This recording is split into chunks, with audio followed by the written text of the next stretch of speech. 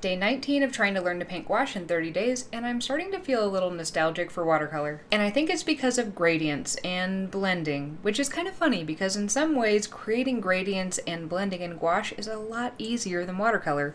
But the ability to drop different colors and have them softly diffuse throughout the water is something that I really like about watercolor. I painted this fish twice, once in gouache and then once with watercolor.